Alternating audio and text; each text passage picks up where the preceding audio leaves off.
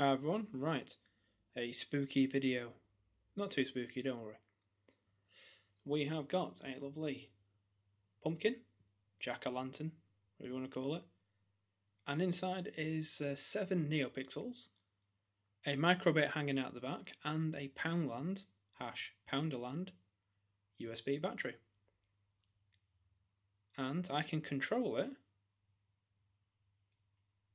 by radio from another microbit. So there's green, ooh, spooky. That's actually purple, but it just goes a bit flary because of the light. Blue. That is green, I assure you. If I shake it, get orange. If I hold it up, we get red. So this is radio from this microbit here.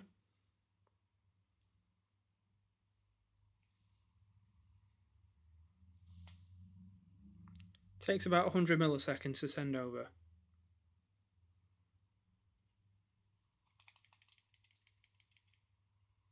There we go. Bit of fun. Going to write a blog post on this.